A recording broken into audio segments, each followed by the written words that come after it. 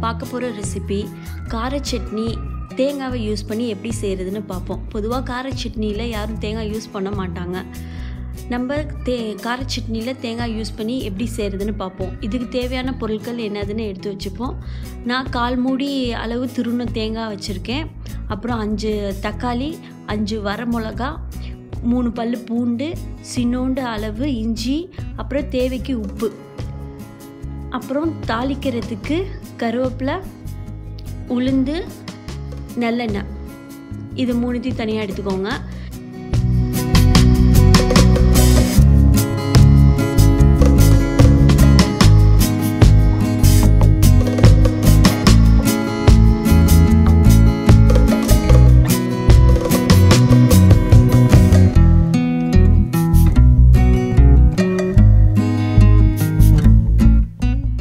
இந்த தக்காளி வரமிளகா இஞ்சி பூண்டு தேங்காய் எல்லாத்தையும் குட்டி குட்டியாக நறுக்கி மிக்சியில் போட்டு நல்லா பிளெண்ட் பண்ணிடுங்க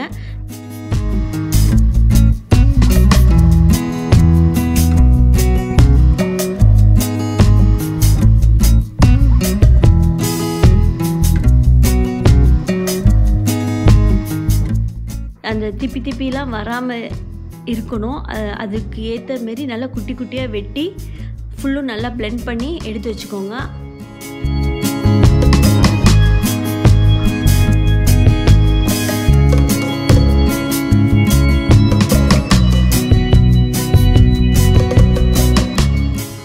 இன்னொரு சட்டியில் நல்லெண்ணெய் ஊற்றி உளுந்து போட்டு கருவேப்பிலை போட்டு தாளிச்சிடுங்க.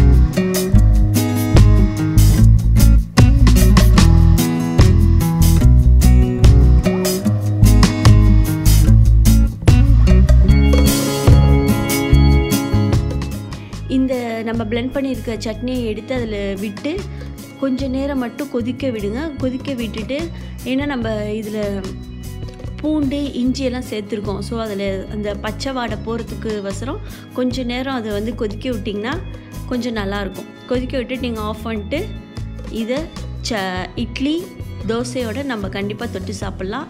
அருமையான ஒரு சட்னி. ட்ரை பண்ணி உங்கள் ரிசல்ட்டை சொல்லுங்கள்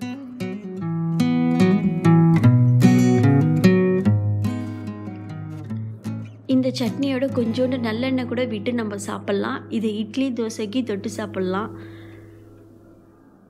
உங்களுக்கு இந்த ரெசிபி பிடிச்சிருந்துச்சுன்னா உங்கள் ஃப்ரெண்ட்ஸ்க்கு லைக் பண்ணி ஷேர் பண்ணுங்கள் எங்கள் சேனலை சப்ஸ்கிரைப் பண்ணுங்கள்